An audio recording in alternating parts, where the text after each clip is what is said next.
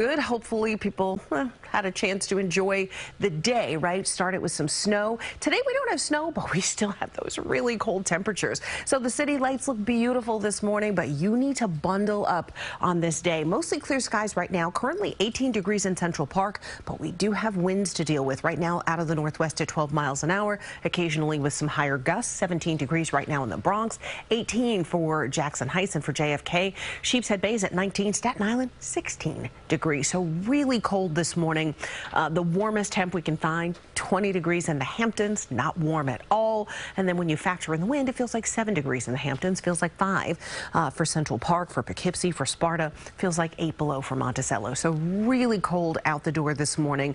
And even during the warmest part of the day this afternoon, 28 degrees. That's as good as it gets. 42 is our norm. That's what the National Weather Service considers normal for this day of the year. We don't even get close. Nobody does. Uh, in the tri-state area. We're not really anticipating any locations will even be above 32, the freezing mark. So very cold today. Sunrise 651. That is the one thing we do have going for us.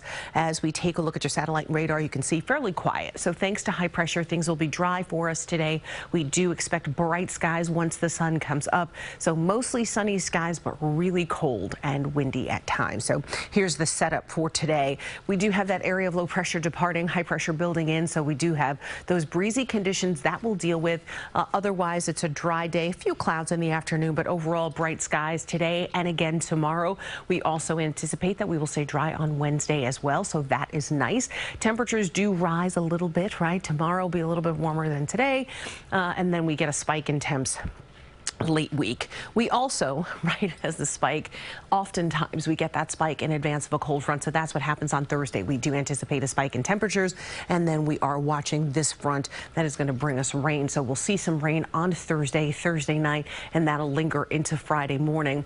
Then things clear out. Still fairly mild, though, for the weekend. For today, for Valentine's Day, really pretty to look at, but you need to bundle up to enjoy. Cold sunshine, 28 degrees, the forecast high for today, but feeling like the teens when we factor in the wind. 21 degrees tonight, but feeling like it's between 5 and 15 degrees. And your first alert seven day forecast shows that warm up 35 degrees tomorrow, 50 for Wednesday, 62 for Thursday with some rain, and then 49 for Friday and still 40s for the weekend.